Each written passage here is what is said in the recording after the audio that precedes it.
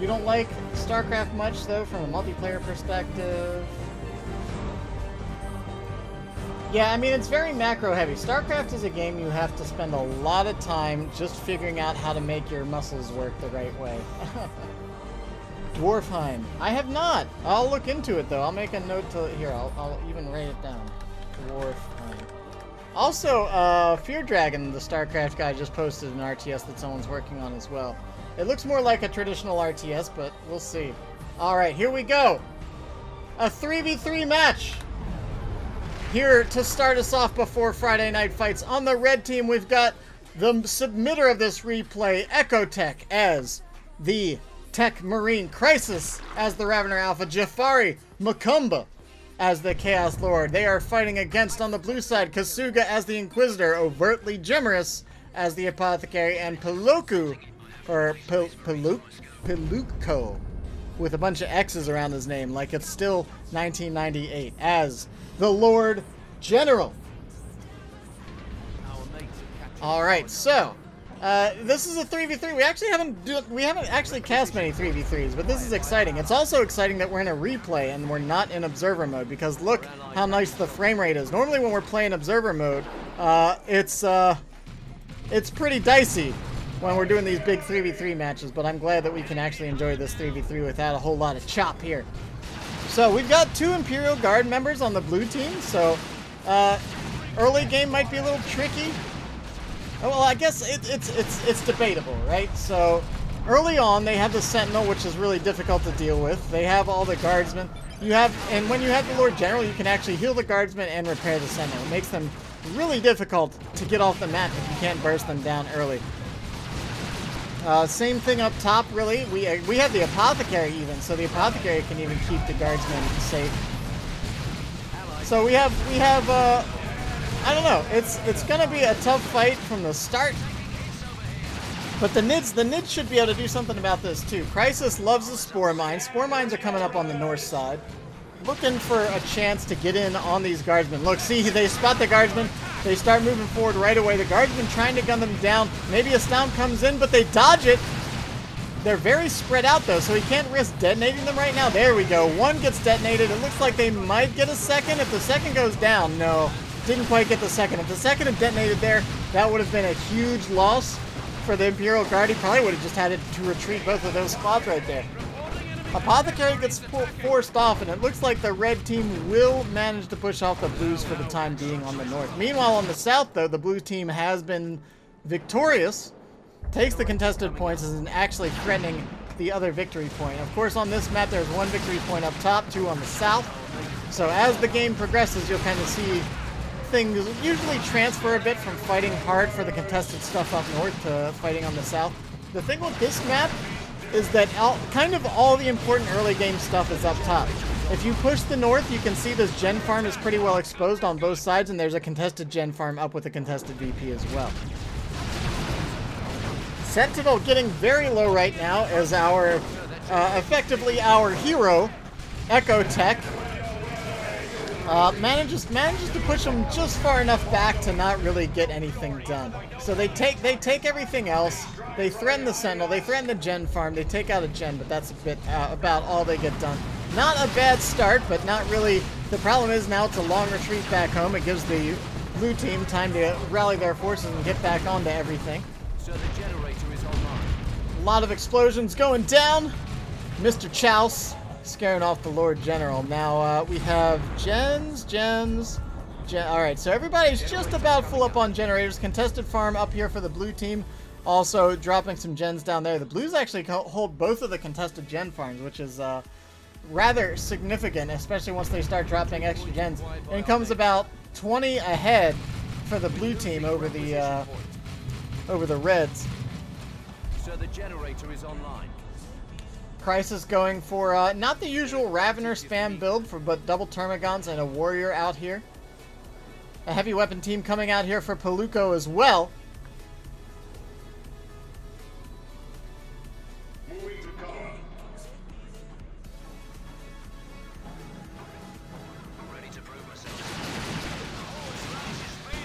And the VPs are are are against uh, against the red team right now.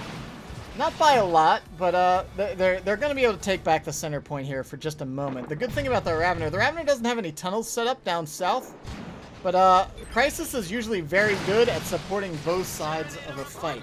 He'll normally he'll normally support one ally, then hop in a tunnel, pop out the other side, and support over there as well. Overtly Gemerous and, and Ecotech still with just a single tac squad. This is a very, very light tier 1 so far from those guys. Ecotech has upgraded to the Mastercrafted Bolter and the Artificer's armor, so it makes uh, makes the Techie a lot more durable on the field. Makes him able to put out some pretty serious range DPS against infantry as well. Double las cannon turrets, or multi-las turrets over here to defend the gen farm of the blues, so making sure there's no way that the Tech Marine and the Ravener are able to push in on the gen farm. So a little bit of an investment on the defensive play there, but it might work out considering uh, that they're already ahead on power, so they just make sure they don't get gen bash. We can see Kasuga's already heading into tier 2, and uh, the Reds are just nowhere close. So if Kasuga can get an early Chimera or something like that out, uh, that would be significant. Both of the Sentinels have gone down already, so that's uh, that's kind of a problem here so far. And it looks like, see, this is what I'm talking about. Uh, is dropping those tunnels. Suddenly, Nids pop up way behind the enemy line over here and start pressuring the gen farm. Manages to get uh, a couple generators down. Might get all three. Not sure about that. Uh, the red team is still mostly off the map and kind of rallying and getting back out on the field. Heavy weapon team does get a nice setup on the Tyranid army. Raveners do counter, but it looks like the Ravener Alpha is going to pay for his uh, overly brazen attack here. Manages to take out three generators at the cost of the Ravener. That's probably still worth it. He lost a couple warriors as well, I think, though, so maybe not in the long run. 446 to 407 as the entire blue team starts working their way into tier 2. The Reds have taken one of the contested points back, though. They should be able to catch back up here. Chaos Lord out here as well with his Combi Flamer. Uh, not a lot of upgrades, I think. Oh, no, there we go. The Apothecary is actually upgraded. Upgraded with the Storm Bolter and the Purification Rites. Pretty standard build for the Apothecary, especially in team games. You kind of want to keep him in range, keep him out of the front of the fight. And with this, uh, not a Chimera, but a Bane Wolf now coming out onto the field, looking to melt down some power and maybe some scouts and tacks along with it.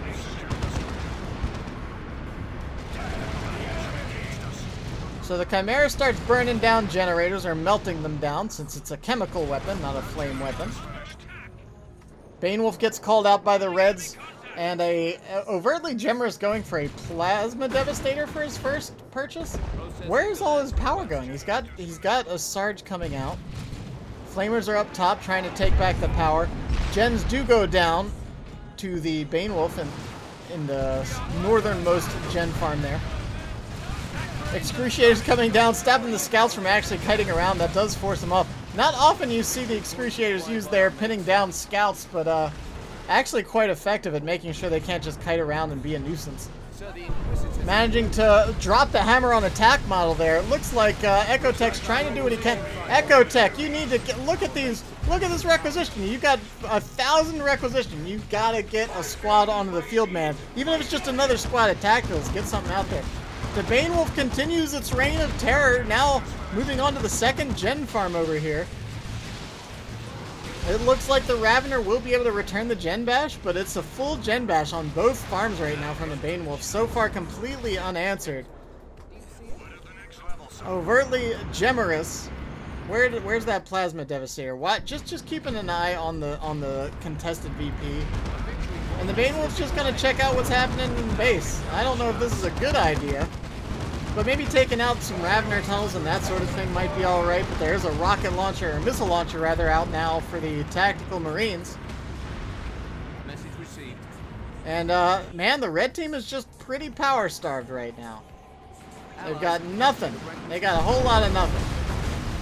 That said, they are going to return the Gen Bash over here. Noise Marines moving up with Mr. Chaos and a couple of squads of Chaos Space Marines, but, uh, the heavy weapon crew does manage to get clear of all the scuffle and get set back up.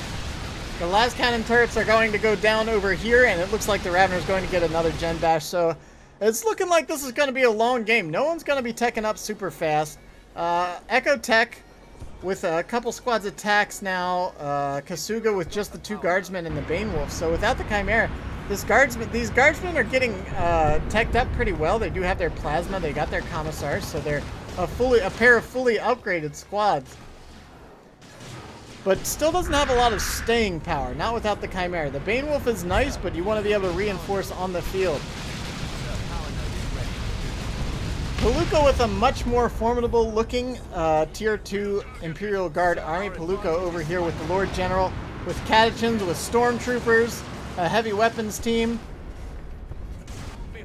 I still want to see a Chimera from one of these guys, but Piluco is at least making sure he has a formidable army. Alright, and as we kind of head into the mid-game here, there's a bit of a lull while both sides are kind of just kind of get, get, getting themselves back together. Both sides were all playing very reactionarily, running around the map, trying to defend their power from all of these various threats that were out on the field. The Bane Wolf, the tunneling Tyranids, all that kind of nasty stuff. More Raveners hit the field. Wait, is this is this three squads of Raveners right now? Oh, a nice looking Hellfury strike comes down right in the middle of that Tyranid blob. And the Bane Wolf actually had them quite slowed, so they can't get out of there very well either. That was a huge, I mean, what a great use of the Hellfury Strike. Sometimes those things aren't very impactful, but the way it worked right there, it just kind of shut down the entire Tyranid advance. That said, there's still a squad of Raveners and a couple Warrior squads out here as well. Warriors are getting quite low, so they have to be careful. There's a lot of Plasma Guardians, or sorry, Plasma Guardsmen out here. And the Inquisitor with the crossbow, bolt pistol, and the Excruciators. There's gonna, there's a lot of potential lockdown from that Inquisitor right now, really going to limit the movement of their opponents. Imperial Guard dropping a bunker right into the thick of it. Bane Wolf coming in again for yet another Gen Bash. The Apothecary holding strong against the force of the Tech Marine. The Plasma Devastator trying to do what it can to get out of there, but uh, ultimately the Tacs do have to retreat. The Plasma Devils stay on the field. There's scouts, a Tech Marine, and Tactical Marine still up top Meanwhile, on the south side of the map, it looks like the Lord General has managed to push the Chaos Lord back uh, to his own victory point. Stormtroopers with the Assault Kit out here. Uh, still no medkits for the Lord General. I'd really like to see that if there's no Chimera. I want to see something that'll keep these Guardsmen squads on the field. The Catachans are out here, but they're not really fighting anything. And it looks like the blue team is going to hold strong over here, but it might be at the cost of a Plasma Devastator. The high-powered shot almost takes that support artillery squad out, but it manages to get away just in the nick of time. Meanwhile, speaking of artillery support, oh my gosh, the Blastmaster misses the shot. I thought that was going to be a bunch of dead guardsmen, but unfortunately, uh, it seems to not be able to quite connect. Again, it hits a wreck in the middle of the map. Creeping Barrage comes down, doing a little bit of damage there. It's more about the knockback than the damage from Creeping Barrage, and it looks like the Lord General uh, hitting the move, move, move. Oh my gosh, was that a dead squad? I don't think it was. It might have been. I think that may just be a squad down. Let the galaxy burn! Ripping apart the stormtroopers, melting down infantry left and right. Oh my gosh, this game is not going to be over anytime soon. 331 to 345. Lord General standing obstinately in front of the face of the Chaos Lord, trying to decap right there. Chaos Lord puts an end to that, but there is a heavy weapons team, and all there is is two squads of Chaos Space Marines. That's not really what you want to fight a setup team. Meanwhile, we come up top. Apothecary gets a heal down just in the nick of time to save himself from certain doom from a pair of Raveners and a Ravener Alpha. Tech Marine moving back up but uh, without the support of his allies, you might want to fall back here. Uh, this is this is kind of a classic thing I see in threes games a lot, is that players will kind of move in independently of one another, whereas the Ravener just fell out and the Tech Marine is moving forward. You kind of want to time those pushes together. Oh my gosh, so many tack going down here. The Inquisitor doing huge damage, locking down these squads and allowing for these uh, Stormtrooper grenades to hit their targets consistently is a really nice combination.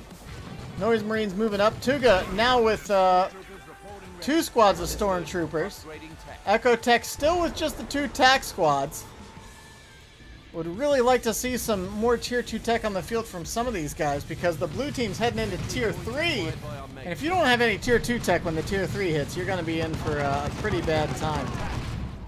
The turret gets burned down up north, allowing the blues to take back their, uh, their gen farm finally.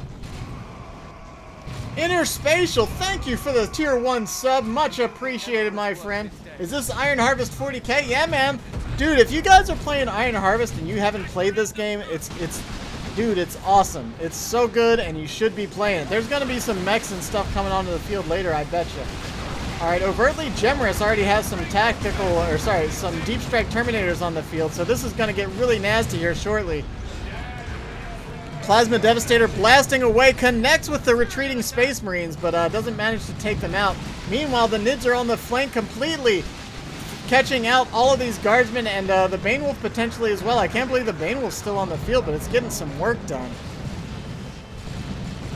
Overtly, Gemerous needs to be careful with his positioning. These Terminators, of course, cannot retreat, but uh, they're in the thick of it, and they're looking to rip apart those Adrenal Gland Wards. If he can get one of these to pop and get a Synapse Bomb going down, that could be huge, but of course, the, the improved healing right here, this AoE heal over time from the Apothecary, from that Army of the Apothecary, and such a huge war gear in 3-on-3 maps when uh, teams seem to be blobbed together. Venom Cannon having a lot of trouble getting anything done on the far side. It looks like the Bane Wolf managed to trump those guys. And now the artillery barrage comes in, nails those stormtroopers, turns one into bits. Of course, the uh, dubstep cannon from the Noise Marines causing a lot of trouble here for the Imperial Guard forces. Standing on the high ground, but is that going to be enough? I've got the high ground, says the Lord General, but I don't think that the Chaos Lord cares. Where's the Let the Galaxy Burn? It must be on cooldown or something. I thought I was expecting it to come in right on that infantry blob over here. Aspiring champion going home. Are they going to make it? No, they do not. That's a squad down for Mr. Chaos. But still, there's just not enough to stop the Chaos push. The Chaos Space Marines are too beefy, and along with Mr. Chaos, uh, still sitting at about half his HP despite all of that. And surprise, Raveners in the retreat path, ripping through the retreating Imperial Guards. They managed to take out one squad. Will they get another? Oh my gosh, the health goes down so fast. The Catachan's in a lot of trouble. It looks like they will manage to get home, not before taking quite a few losses, though. Four Catachans go down on retreat. A nasty looking flank there from Crysis. Kasuga has a Leman Russ tank coming out on the field here shortly. But again, just bash, Gen Bash after Gen Bash. Let the Galaxy Burn goes down. Not allowing, they, they are sick of this Lord General. They say go home and stay home. Oh my gosh, that grenade that just came in though. Doing huge damage. The warriors start falling. The synapse bombs are going off. Is it going to be enough to rout the Tyranid forces completely? The Gene Stealers are so nasty. Yeah, they just keep trucking through. The Plague Marines are getting some slows down on this Bane Wolf, but is it going to be enough? One or two more shots might buy the time needed for these Tyranids to close the gap, but it looks like for the time being it's going to continue falling back and get at least a relative safety of its base. It's level 4. How often do you get to see a level 4 Bane Wolf? And now not only that, but there's a Leman Russ tank, one of the biggest, baddest tanks in the game here to, uh, to continue that blue push back out onto the map. 303 to 249. And this map, this, this game can still go any direction. Everybody's moving into Tier 3. Piluco with the Bane Blade coming out here shortly. Crysis heading into Tier 3 as well, so we're going to have some big, nasty bugs coming out on the field. Some Carnifexes, some Lictors, you name it. Tier 3, the sky is the limit. The Brood will be unleashed. And Crysis has already shown how nasty he can be with it. He may have overstayed his welcome a little bit there, because it looked like he lost a couple squads after taking some out of the Imperial Guard. Oh my gosh, these Terminators tearing through one of those tactical marine squads. You've got to be so careful with your retreats when you have these big mean squads in your retreat path. Something to be very aware of in 3-on-3 matches. Where are your enemies? Because the one you are fighting might have another one on your flank. And the VPs are, I mean, completely even right now. We're deep into this match, and the VPs are still even up. This game is uh, definitely going the distance. Alright, so uh, let's see what we've got. We've got a lot of resources starting to stack up here. Jafari really needs to kind of bolster his troops. He's sitting on so much. Oh my gosh, the float is ridiculous. Jafari, buy something, buy anything. You've got to get on the field and support your allies here, man. There may be more gens bashed in this game than I've seen in the past, like, week of three-on-three 3 games. Oh my gosh. What are these even repairing? Oh, they're putting up a las turret. Okay. I thought they were repairing the bunker. I was like, why is the health why is the health not going up? I was very confused there. Don't mind me. Just a little just a little caster confusion there. Pretty classic in this game because there's always so much going on, let alone being in a 3v3 game. Here comes the Baneblade. Oh my gosh. This tank is a monster, bristling with weaponry. It's got las cannons, it's got auto bolters, it's got a great big demolisher in the front too. If that thing closes the distance, we're gonna see it here in just a second, watch. As soon as he closes the distance with that nid. Oh, it's a little delayed. I was hoping it was gonna connect with the demolisher. Big whiff over there. But the, the Inquisitor's forces now coming in on the other side. The Bane Wolf, you can't repair and back up. You have to, repairing, we talked about this the other day, repairing units have pathing priority. So you don't want your repairing squad to be behind your vehicle because then it can't fall back. Improvised explosive goes down. Doesn't really connect with anything, but uh, where where did the NIDS end up going? Did they just hop in a tunnel and get out of there? No, here they are. They're over here. They made the long trek around. 240 to 168. It's a triple cap for the Blues here suddenly. Things are looking dicey for the red team. The red team just doesn't have that much. Jafari does have a Great Unclean One coming out, but his, his army is otherwise quite small, and a Great Unclean One on its own is not going to stand up against a Leman Russ tank, a Bane Blade, and a whole lot of Plasma Guardsmen. Alright, we have another call. Is this going to be more Terminators? This first squad was pretty early. It is, oh my gosh, two squads of Terminators now for this Apothecary. Genestealers don't stand a chance. Even these Ravener Alpha with his Acid Splatter and Synapse Zara cannot stand. We need some plasma. We need some melting down of this super heavy infantry. The Terminators teleport back. The red team does take the contested VP because the blues are entirely invested in the bottom of the map right now. The Apothecary and both Imperial Guard forces are all down here. They even drop a bunker, so they're going to they're going to lock this down. Multi-las turret comes down, bunker comes down. Look at this rocket barrage. It's just ridiculous. The damage going out right now is crazy for the Imperial Guard. The Great Unclean One is here, but with the Executioner Cannon over here, these Plasma Guardsmen, the Bane Blade, I don't know how this thing's actually going to push into all of this. It, it, it is one of the best tanks in the game, but it has to be able to get some damage out too and shut down some of this. Siege Marines putting some damage down. And the Imperial Abyss opens up in the middle of the Imperial Guard forces, forcing a retreat of the infantry, leaving the two tanks stranded out here against the forces of Chaos.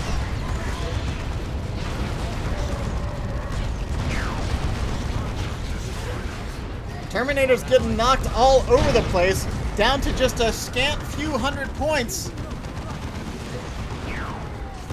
Or a few over a hundred points, rather.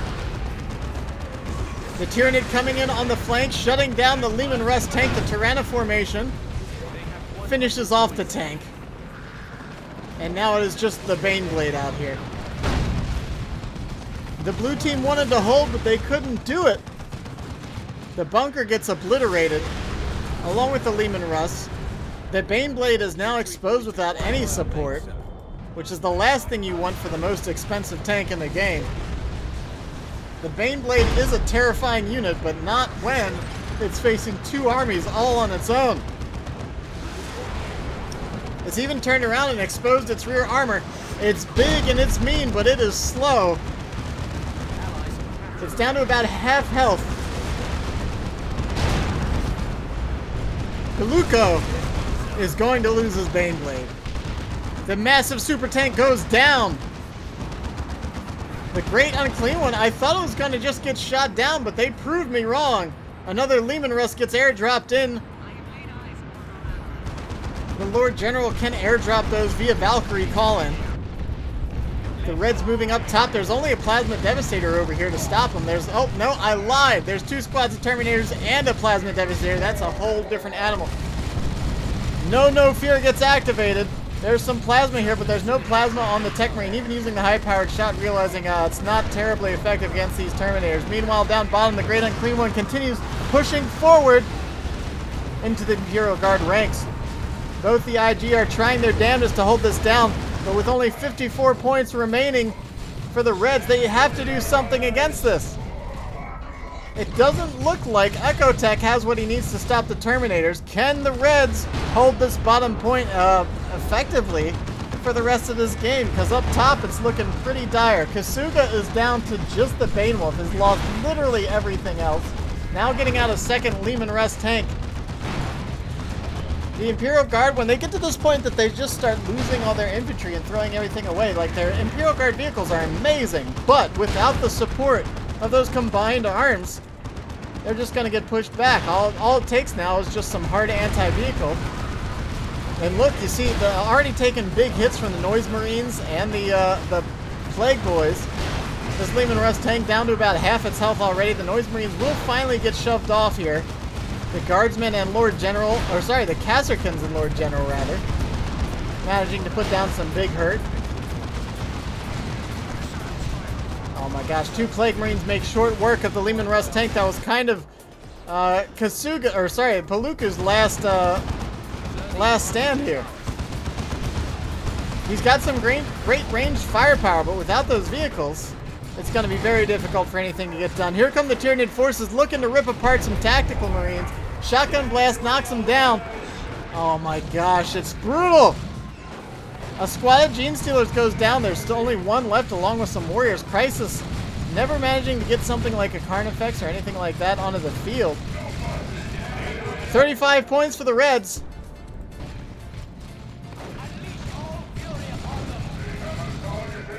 Oh my gosh.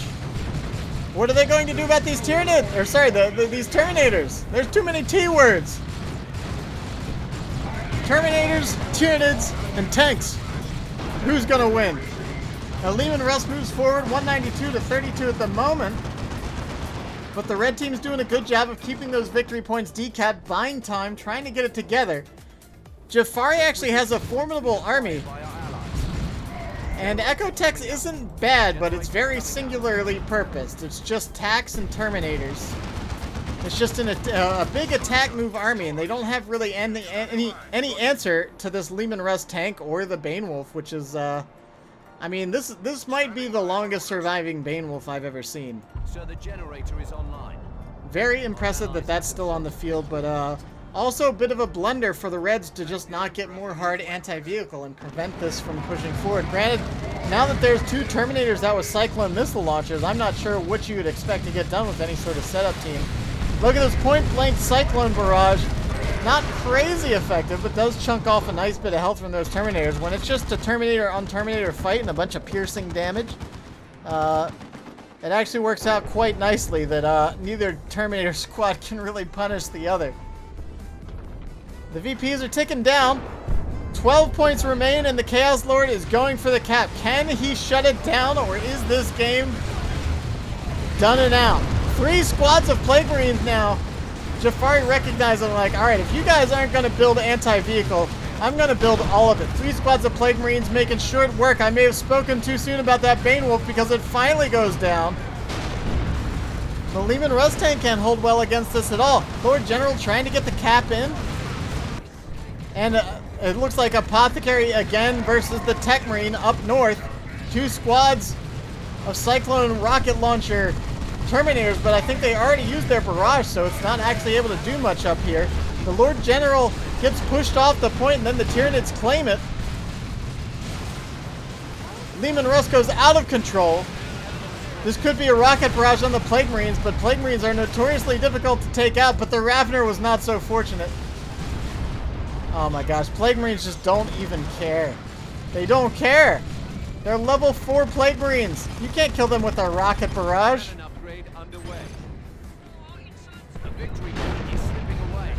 192 to 5. And it looks like the red team has managed to hold strong.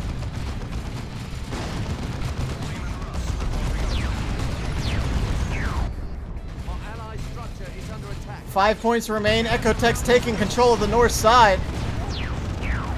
The Plague Marines are forced off finally, but it's a triple cap quickly turned against the Blues.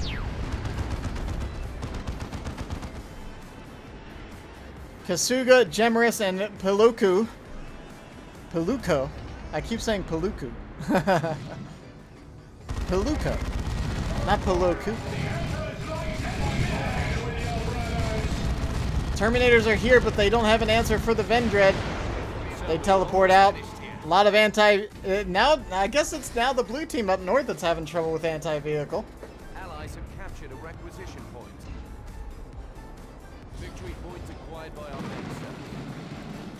A new Leman Russ tank comes out. Not sure that that's a, that's a great choice against triple Plague. There's a Lictor over here looking to gobble up. Why can't he? He can't seem to attack this plasma devastator. I don't know what's going on there, but the Lictor goes down, something weird happened there. I feel bad about that one. But look at this Executioner just blasting away at these tanks and Terminators. Does big damage. Yeah, Christ is calling out. I like these bugs. He's not talking about his Tyranids, I tell you that much.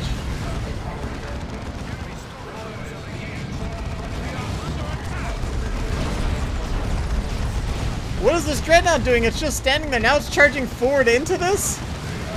I don't think that's the right move. 96 to 5. Purgatus comes down the ring of fire, does damage, takes out the Ravener, stuns a whole lot else as well.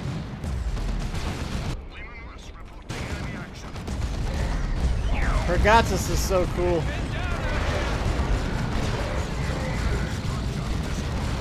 How is this Dreadnought still alive?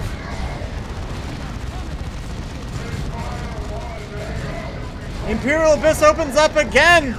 This cap is not happening.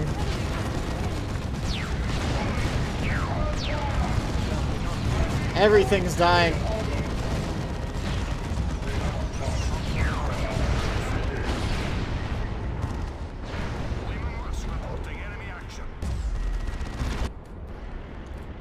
Heavy turret, more Leman Russ tanks coming out onto the field.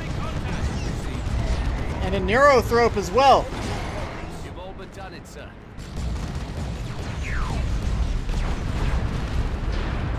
I, I I think I think you need some strong anti-inf like this is where uh what is it? Where did the the Catachans, right? We want more Catachans instead of more Leman Russ tanks, is that correct? Catachan Devils coming out? I I think Catachan Devils are a little too short range for this kind of stage of the game.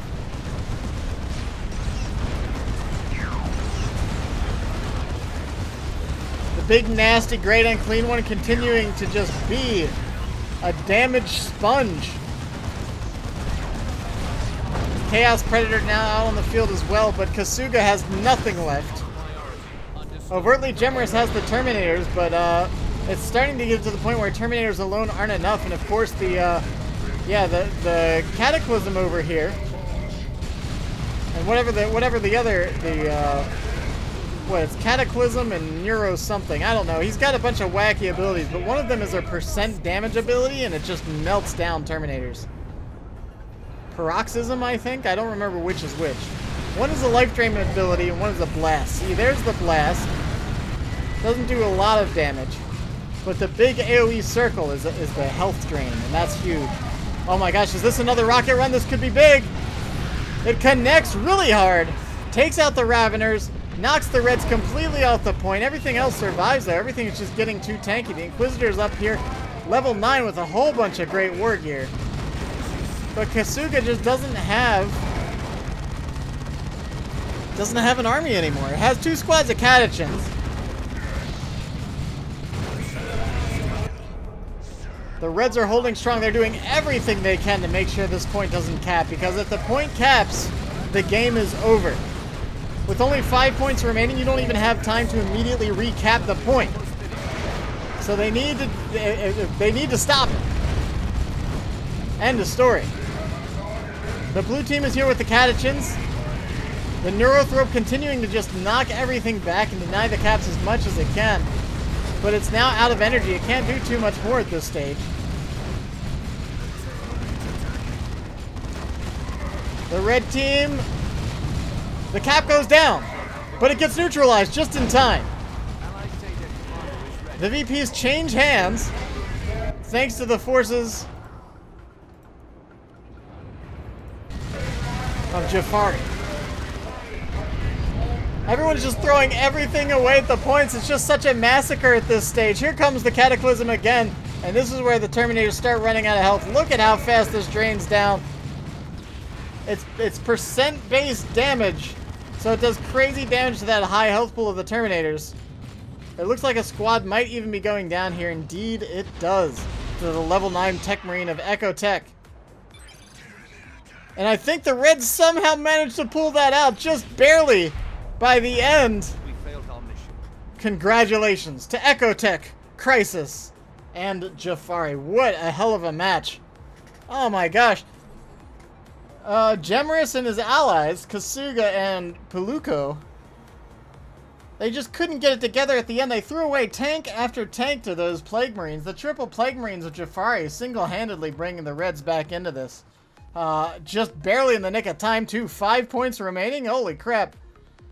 Woo! What a run. Five-point game. Holy hell, that was a battle. And uh, the, the, the battlefield is just nothing but craters at this point. We saw at least three rocket runs, a couple Imperial Abyss, more Terminators than you can shake a weird boy stick at. Woo! Jafari carried. Yeah, you, you might be right. Crysis got some excellent plays in there too, but by the end of it had lost a lot of his troops. But uh, at the end, still having a Neurothrope and a Lictor on the field, so those are both uh, single entity high impact units, especially against that double Terminator that we were seeing up north.